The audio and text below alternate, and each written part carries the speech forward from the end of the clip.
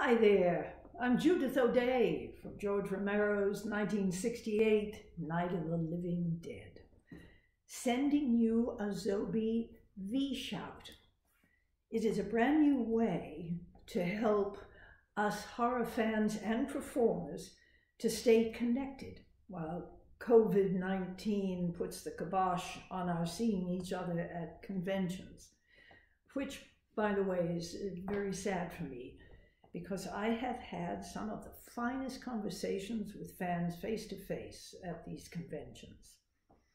But until this situation changes, Zobie is providing a very easy way for fans to continue to gather autographs, pictures, horror film memorabilia that you'd like via the internet.